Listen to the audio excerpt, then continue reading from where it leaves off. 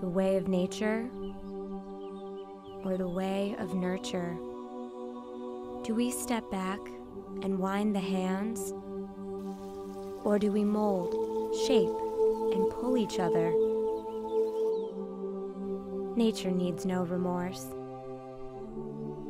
It remains clear as the scars on its face.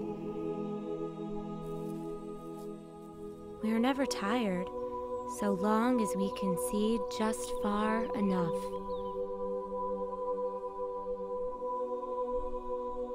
We seem to have forgotten this place. The boundless avenues of ugh. Was that poo? Can we go back inside?